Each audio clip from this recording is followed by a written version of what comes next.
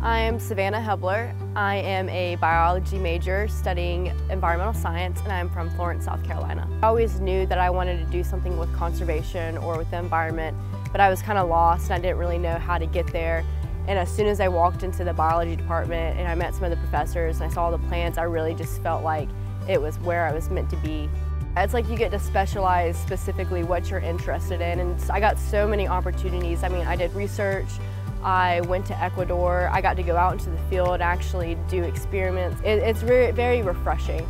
It's very, and since it's not a large group, I feel like it's a lot easier for the professors to be able to do that, so we're all able to do more than, you know, if it was a really big class. I thought I was just coming here, you know, for the classes, for the credits, and I didn't expect, you know, my professors really to take an interest in what my life was going to be like after school and, you know, to really want to help me, and I think that was really important for me, and that kind of encouraged me to, you know, push myself, you know, say yes to every opportunity that I got.